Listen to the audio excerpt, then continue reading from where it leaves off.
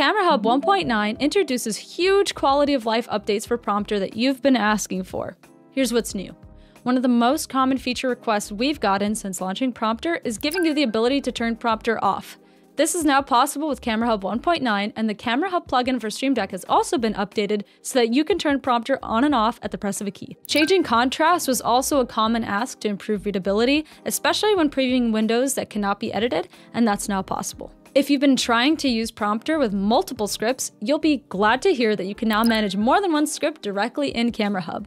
Another new feature for scripts is the ability to copy and paste text into Camera Hub, and your paragraphs will automatically be split into chapters. We're not done yet with script improvements because now you can also change the size of the text preview itself within Camera Hub to make it easier to read. You can also split chapters into two and use the new dictation mode to turn your speech into text for script planning, reviewing, and more. That's a lot of new features, but that's still not all. You can now add an overlay to show exactly where your camera lens is so that you can always keep your gaze centered to your camera. And lastly, you can set scripts to loop automatically when you're done, so that you can go from running through a script right back to the beginning like this.